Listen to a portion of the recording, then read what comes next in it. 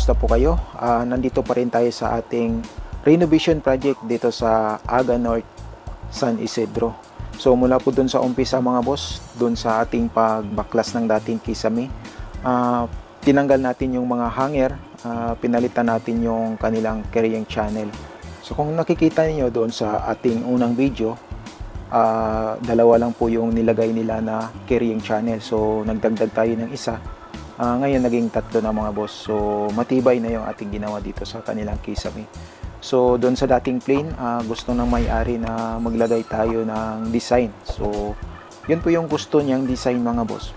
So mayroon lang tayong ah, tambol o box na design doon sa gilid. So yun po yung ginawa natin dito mga boss.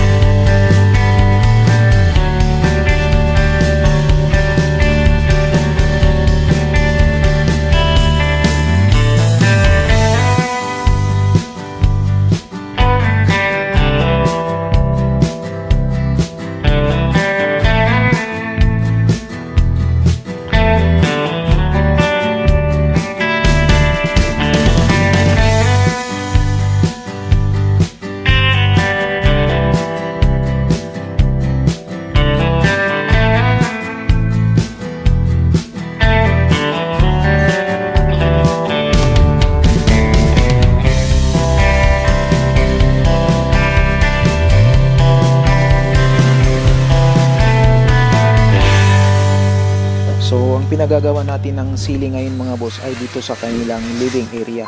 So, kung nakikita po ninyo, ah, gumagawa po tayo ng tambol sa gitna. Balihin natin po natin sa tatlo yung kanilang area ng ceiling mga boss.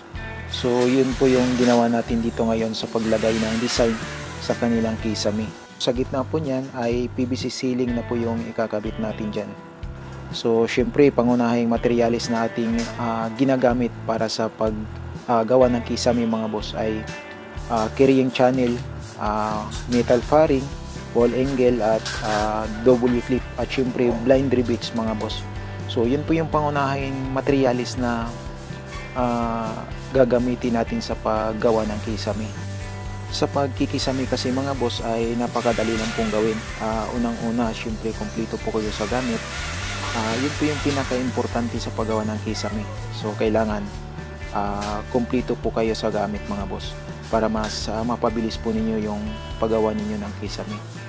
So, siyempre, ah, kabisado na po ninyo yung ah, design na gagawin po ninyo.